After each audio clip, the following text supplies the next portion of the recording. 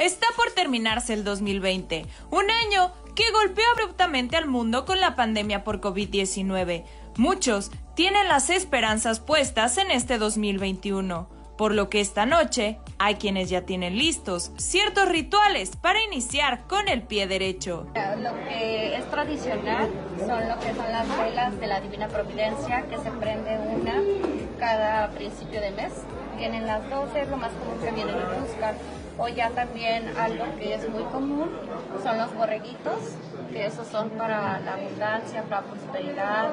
Algunos los cuelgan en su puerta, los traen como llavero, en su carro. Aunque es más común buscar la prosperidad, el crecimiento, la abundancia y el amor en el año por iniciar, este se ha marcado de diferente manera, ya que la mayoría de las personas pedirán que la salud sea lo principal en este 2021. Pues si nos piden más para la salud, ¿verdad? Pero esto es un ritual que cada año lo vendemos, ¿verdad? Y la gente se lo mira.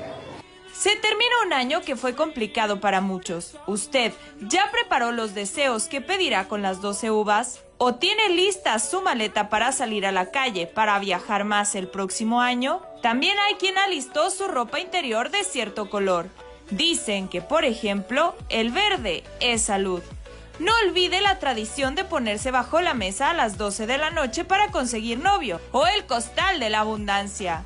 ¿Cuál será su ritual para iniciar este 2021? Con imágenes de Aaron Armenta para Noticias 28, Marifer Ibáñez.